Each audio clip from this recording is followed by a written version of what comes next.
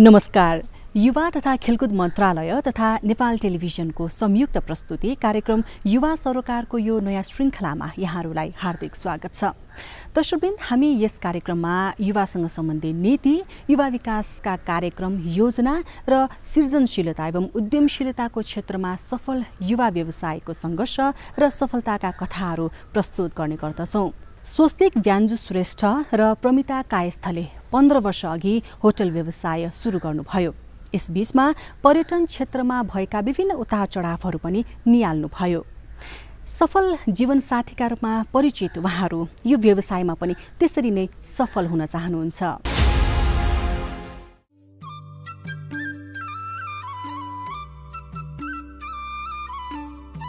काभ्रे पलाञ्चोको धुलीखेल बस्ने स्वस्तिक ब्यान्जु श्रेष्ठ सुरुमा ससानो ठेकापट्टाको व्यवसाय गर्नुहुन्थ्यो।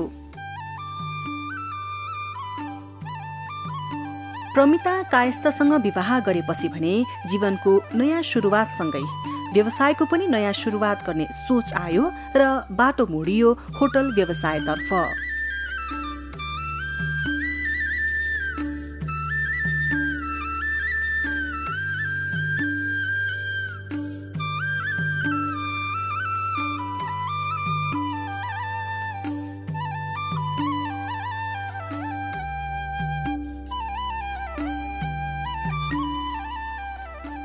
श्रेष्ठ दम्पतिले होटल धुलीखेल भ्यू पोइन्ट खोल्नु भएको पनि पन्ध्र वर्ष भइसकेको छ।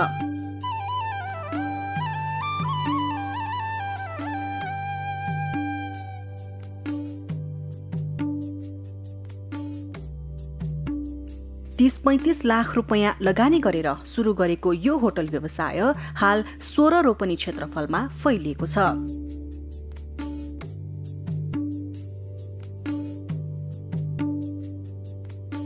यो होटल सुरु गर्दाको अनुभव उहाँहरू यसरी सुनाउनुहुन्छ। अब यो त लगभग मेरो स्टार्ट भएको लगभग पन्ध्र वर्ष जति भइसक्यो मेरो होटल व्यवसायमा टुरिज्म लाइनमा भनौँ।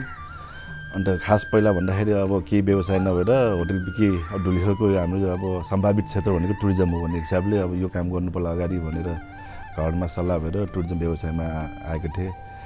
अब यो सुरु गरेको हाम्रो पन्ध्र वर्ष भएको छ। लगभग राम्रै छ व्यवसाय सुरु गरेर अहिलेलाई सम्बन्धलाई टोटल्ली हाम्रो यो फेम फ्यामिली बिजनेसै हो। मेरो मिसेस हुनुहुन्छ म हुन्छु बुवाहरू हुनुहुन्छ हामी फ्यामिली बसेरै अलिक व्यवसाय सुरु गरिरहेको छौँ अहिले हामीले। लगभग पन्ध्र बिस वर्ष अगाडिको कुरा गर्नुपर्दाखेरि सानो व्यवसाय लगभग तिस पैँतिस लाख चालिस लाखमा लगान गरेको थिएँ। अब अहिले अब त्यही हो अहिलेको समयअनुसारले बिस्तारै बिस्तारै यसलाई लगभग चार पाँच करोड जतिमा पुगेको पुगेको छु मेरो अहिले।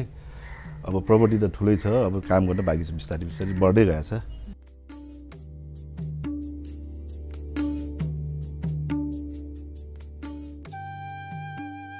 म चाहिँ यहाँ होटेल म्यानेजमेन्टमा काम गर्छु कि अनि मैले चाहिँ स्टाफहरूलाई म्यानेज गर्ने अब रेखदेख जस्तै सबै काम गर्छु। अनि सुरुमा चाहिँ म यो होटेल स्टाफिट भएको चाहिँ फिफ्टिन पन्ध्र वर्ष भयो होइन तर म सुरुदेखि चाहिँ थिएन कि अनि म चाहिँ पहिला चाहिँ टिचिङ गर्छु। अनि म यहाँ काम गर्न थालेँ चाहिँ त्यस्तै टु इयर्स भयो लकडाउन पछाडि। हाम्रो चाहिँ अब प्राय अब रेस्टुरेन्ट भन्दा पनि रुमले गरेर राम्रो चलिरहेछ कपाल कपालहरू अनि टाइम टाइममा सिजनल चाहिँ पिकनिकहरू प्रोग्रामहरू हुने गरेको छ कि। अनि त्यसले अब अलिक एडभर्टाइज चाहिँ हाम्रो अब पहिला फिफ्टिन इयर्स अगाडि चाहिँ सानो थियो अहिले चाहिँ अलिकति त्योभन्दा राम्रो भएको छ तर ऊ चाहिँ एडभर्टाइज चाहिँ नपुगेको जस्तो। अनि त्यो पनि भयो अहिले फेरि यहाँ धुलखेलमा त धेरै नै होटेल लाइन छ नि त। त्यसैले पनि अलिकति गाह्रो भएको। इन्ट्रेस्ट चाहिँ भन्नु पऱ्यो यो चाहिँ यो चाहिँ हाम्रो फ्यामिली बिजनेस भएकोले चाहिँ अब स्कुलभन्दा पनि आफ्नै काम गर्दाखेरि राम्रो हुन्छ भन्ने मलाई फिल भयो कि। अनि त्यही भएर अब आफूले नगरे पनि अरू एउटा त स्टाफ राख्नै पर्थ्यो। किन स्टाफ राख्नु? बरु आफै म्यानेज गरौँ भन्ने हिसाबले चाहिँ मैले यहीँ गरेको। अरू अरूको फ्यामिली भन्दा चाहिँ मेरो फ्यामिलीहरू चाहिँ अलिक बुझ्ने खाले हुनुहुन्छ कि। अब बुवा आमाहरू सबैजना अलि बुझ्ने हुनुहुन्छ। अनि फेरि यहाँ अब अरूहरूलाई चाहिँ अप्ठ्यारो हुन्छ भन्छ। महिलालाई तर मलाई चाहिँ त्यस्तो फिल भएन किनभने मेरो हस्बेन्ड पनि सँगै काम गर्नुहुन्छ साथै मेरो ससुराबाहरूले पनि हेल्प गर्नुहुन्छ अनि घरमा चाहिँ फ्यामिली अब एकदम राम्रो भएकोले आमा बुवाले नि बच्चाहरूलाई सबै केयर गरिदिनु भएर चाहिँ मलाई एकदम सजिलो छ कि। परिवारको पूर्ण समर्थन पाउनुभएका उहाँहरूले व्यवसाय सुरु गर्दै गर्दा र त्यसलाई अझ विस्तार गरौँ भन्दा समस्याहरू नपरेका होइनन्।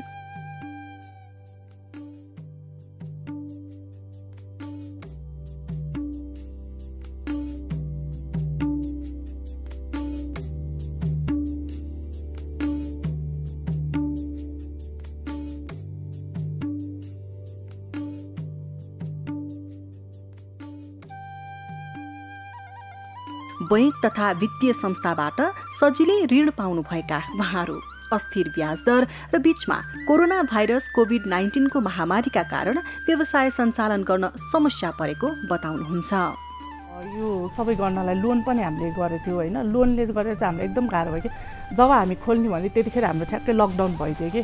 हामीले जे प्लान गरेको थियौँ यो खोलेर यति तिर्ने यस्तो हिसाब गरेको थियो नि त म्यानेज गरेर त्यो चाहिँ केही पनि भएन है अब लकडाउन भयो हामीले ब्याज तिर्नै पऱ्यो अनि त्यसको लागि चाहिँ अलिक गाह्रो भयो। अरू कुरामा चाहिँ अब अलिक साथीभाइ यताउता अब एडभर्टाइज भएकोले चाहिँ त्यति गाह्रो चाहिँ भएन।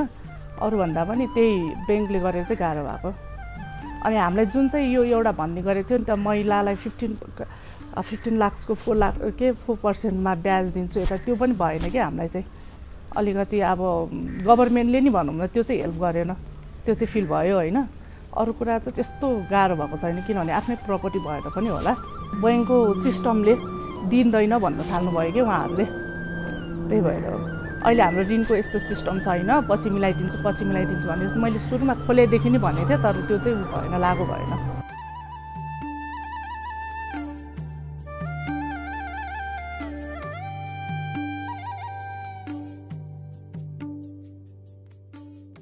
लोन लिनलाई झन्झट त परेन। लोन लिनु त धेरै सहिलेसँगै लोन लिएछ अहिलेसम्म। तर व्यवसाय चलाएर लोन तिर्न चाहिँ गाह्रो छ अहिलेको स्थिति हेर्दाखेरि चाहिँ। जुन यो कोभिड पछिको जुन अहिलेको सिचुएसन आएछ त्यसले गर्दा चाहिँ अब व्यवसाय यो जुन धान्नलाई चाहिँ गाह्रो चाहिँ गाह्रै छ अहिले हामीलाई। ब्याज दर त अहिले त अब त्यो कुरा गर्नुपर्दा त डबलै पुगेको छ ब्याज त। अब ब्याज तिर्न नै गाह्रो छ अहिले व्यवसाय धान्न एकदम गाह्रो छ तर आत्या चाहिँ छैन। व्यवसाय त पक्कै पनि एकदम अब गाह्रै चल्छ। जुन्ने व्यवसाय पनि गाह्रो छ अब यसमा म्यानेजमेन्टको कुरा आउँछ। म्यानेजमेन्ट राम्रो भएर या दक्ष जनशक्ति या भनौँ स्किल म्यान पावरहरू भयो भने चाहिँ व्यवसायलाई चलाउन सहिलो छ। अब हामीलाई चाहिँ अहिले चाहिँ यो जुन स्टाफहरू आफूले ट्रेन गरेर राख्ने र पछि अलि राम्रो वेल ट्रेन भइसकेपछि यहाँ नबसिकन बाहिर जाने प्रविधि एकदम चलिरहेछ त्यो भएकोले वेल ट्रेन स्टाफहरू पाउनु चाहिँ अहिले यो होटल व्यवसायलाई भनौँ एकदमै गाह्रो कुरा हो यो चाहिँ। अनि जुन चाहिँ अब यो हाम्रो सिटिभिटीबाट ट्रेनिङ दिएकोहरू जुन स्टाफहरू पाइन्छ नि हामीले त्यो चाहिँ सहिलोसँग पाइरहेको छैन। अब अनस्किल मान्छे ल्याएर हामीले आफूले पे गरेर उनीहरूलाई स्किल बनाएर पछि चाहिँ अलिकति राम्रो भइसक्यो फेरि विदेशी नै। त्यो चलन चाहिँ एकदमै एकदम प्रविधि चलिरहेछ यो व्यवसायमा चाहिँ। जति नै अप्ठ्याराहरू आइपरे पनि आफूले माया गरेर हुर्काएको व्यवसाय चटक्कै छोडेर विदेश जाउँ जस्तो नलागेको उहाँहरू बताउनुहुन्छ। बरु जे जति सकिन्छ आफ्नै देशमा गर्ने भन्ने भावना बलियो छ उहाँहरूमा। होइन विदेशी जाने भनेर धेरैचोटि थियो हामीले पनि। तर अब एउटा काममा हात हालिसकेपछि एकैचोटि सम के भन्छ सफलता त अवश्य पाइन्न। बिस्तारै बिस्तारै दुःख गर्नुपर्छ। अब टाइम लाग्छ कुनैमा पाँच वर्ष लाग्छ दस वर्ष लाग्ला पन्ध्र बिस वर्ष। तर एउटामा हाम एउटामा व्यवसायमा हात हालेपछि यो पक्कै पनि सफलतामै जानुपर्छ भन्ने हिसाबले हामी पर्खिनुपर्छ। आजको भोलि नै कुनै कसै बिजनेसमा पनि सफलता पाइन्न। दुःख गर्नुपर्छ। अवश्य पनि सफल भइन्छ यो व्यवसायमा।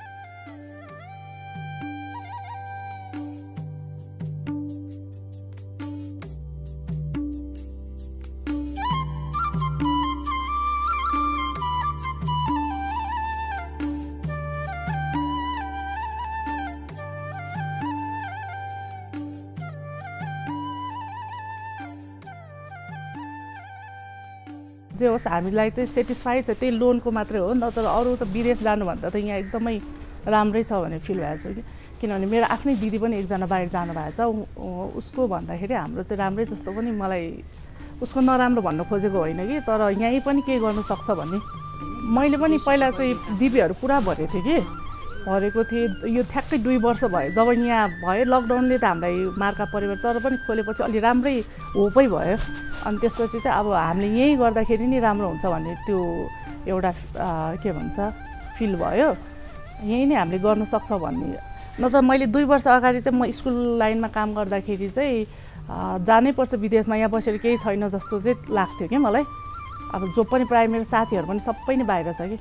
एक दुईजना मात्रै यहाँ। अनि यहाँ काम गरेँ अनि यहाँ काम गर्दाखेरि यस्तो हेर्दाखेरि त ठिकै छ जस्तो पनि भयो। काम गर्नुभन्दा दुई वर्ष अगाडि पनि विदेशै जान्छु। मेरो त्यो उनी माइ नै म बाहिर जान्छु भन्ने थियो कि। अनि पछि यहाँ गरेँ आफ्नै आफ्नै काम गरेपछि आफ्नो काममा माया पनि लाग्ने रहेछ कि एक प्रकारको। अब मैले यहीँ गर्नु सक्ने रहेछ म किन विदेश जानु? विदेश गएर अब आफ्नो फ्यामिलीहरू छोडेर न बच्चालाई केयर गर्नु पाइन्छ न आमा बाउसँग बस्नु पाइन्छ। अनि न हस्बेन्ड वाइफै राम्ररी टाइम स्पेन्ड गर्नु पाइन्छ। बरु त्योभन्दा त यहाँ त धेरै राम्रो छ। अब बरु मिठो नमिठै खायो भने पनि सँगै बसेर त फ्यामिलीसँग बस्न पाइन्छ। त्यस्तो फिल भयो क्या पछि आएर चाहिँ मलाई चाहिँ। त्यसैले युवाहरूलाई पनि विदेश गएर सजिलै पैसा कमाउने सोच राख्नभन्दा आफ्नै देशमा स्वरोजगार बन्न सुझाव दिनुहुन्छ श्रेष्ठ दम्पति।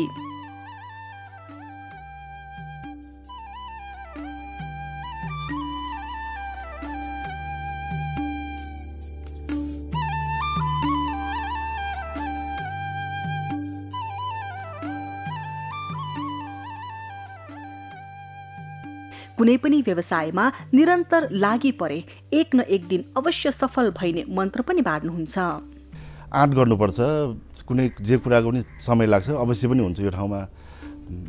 मान्छे हाम्रो जुन हाम्रो दाजुभाइहरू चाहिँ यहाँ केही छैन भनेर जुन बाहिर गएको बाहिरको मान्छे चाहिँ यहाँ आएर पैसा कमाइरहेछ। या भनौँ यहाँ चाहिँ एकदम सम्भाव्य धेरै देखिरहेछ पैसाको या कामको।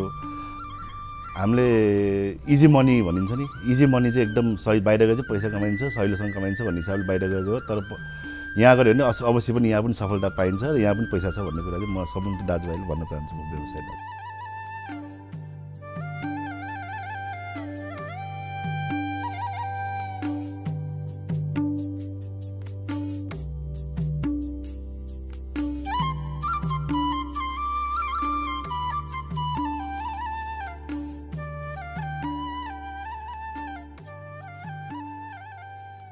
अब आफ्नै गरेको राम्रो नि मेन कुरा आफ्नै अब आफूसँग जे छ त्यसमै लगानी गरेर आफ्नै तरिकाले होटेल जस्तै होटेल भयो अनि पसल भयो होइन। अनि त्यस्तो बिजनेस कारखानाहरू गऱ्यो भने राम्रो हुन्छ। जुनसुकै पनि अब नेपालमै गर्दाखेरि राम्रो हुन्छ। कृषि पनि अब जस्तै अहिले के भन्छ यो बाख्रा पालन भयो होइन। अनि त्यसपछि आएर अरू कारखानाहरू भयो। त्यस्तोमा पनि राम्रै भएको छ तर के भन्छ मेन चाहिँ हामीलाई करले नै गाह्रो पनि पार्ने ब्याजले गाह्रो पार्ने भएर पनि धेरै जस्तो बाहिर गएको जस्तो लाग्छ कि मलाई चाहिँ। त्यसमा गर्दाखेरि अब आफ्नै उत्पादन हुन्छ आफूले गरेर तपाईँले भने जस्तो दुई तिनजना अर्कोलाई पनि हेल्प हुन्छ कामदारहरूलाई।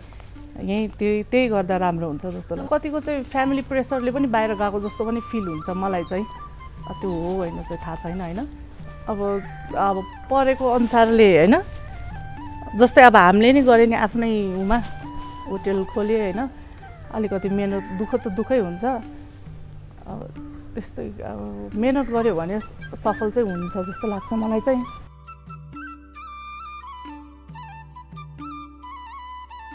युवाहरू मात्र लागेर पनि समृद्ध नेपाल सुखी नेपालीको आकाङ्क्षा पुरा नहुने बताउँदै यसमा राज्यको धेरै ठुलो भूमिका हुने उहाँ बताउनुहुन्छ। यो व्यवसाय टुरिज्म व्यवसाय पक्कै पनि हाम्रो यो नेपालको एउटा मूल आधारमा व्यवसाय हो यो। र राज्यले यसलाई उद्योग रूपमा चाहिँ हामी चाहिँ हाम्रो यो एउटा आवाज भनौँ व्यवसायहरूको यो उद्योग उद्योग रूपमा हामीले हेरिदिनुपर्छ भन्ने कुरा छ। तर यिनीहरूले चाहिँ राज्यले भनौँ राज्यले चाहिँ यिनीहरूलाई चाहिँ अब जसरी हुन्छ यो व्यवसाय यिनीहरूले पैसा धेरै कमाएको छ यिनीहरूलाई धेरै चाहिँ ब्याज दिनुपर्छ या भनौँ धेरै पेल्नुपर्छ भन्ने हिसाबले सोचिरहेको छ। यो यो नीतिले गर्दाखेरि चाहिँ यो व्यवसाय हामी जुन यो टुरिज्म व्यवसायलाई चाहिँ एकदमै असर परेको प्रत्यक्ष रूपमा धेरै असर परेको छ राज्यले अलिकति हामीलाई सहुलियत रूपमा हेरिदिनुपर्छ ब्याज दरदेखि लिएर धेरै कुरामा हेरिदिनै पर्छ न त यो व्यवसाय टिक्न चाहिँ गाह्रै छ अब।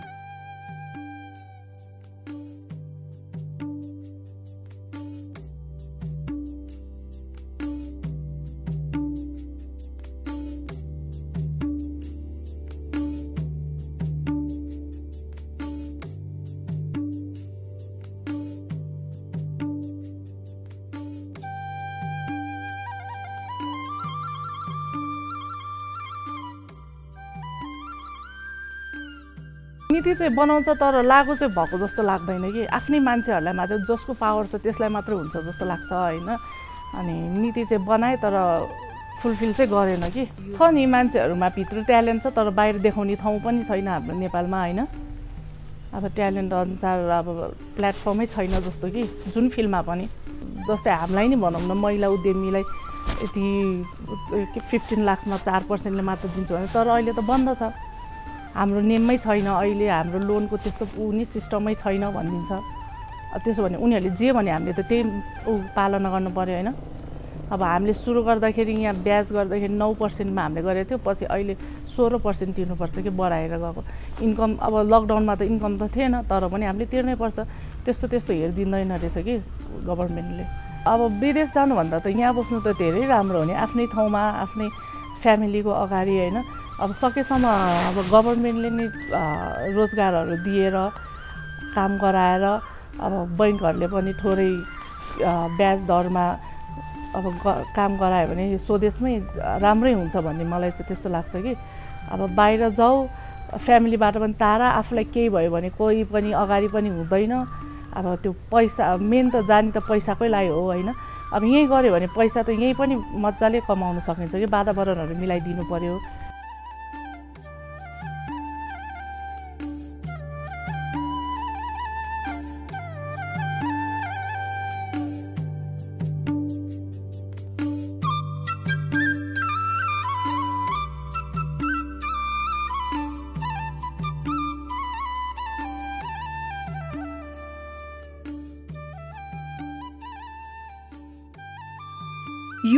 स्वदेशमै लगानी गर्न चाहन्छन् व्यवसाय सञ्चालन गर्न चाहन्छन् र आर्थिक उपार्जन गर्न चाहन्छन्। युवाका लागि पनि विभिन्न नीतिहरू पनि बनेका छन् जसले युवालाई स्वरोजगार बनाउनका लागि अनुदान सहुलियत ब्याज दरमा ऋण लगायतका व्यवस्था पनि गरेको छ। तर नीति जस्तै कार्यान्वयनको पाटो अझ सशक्त बनाउने हो भने युवाहरूले हाल भोगिरहेको समस्या पर्दैन थियो कि?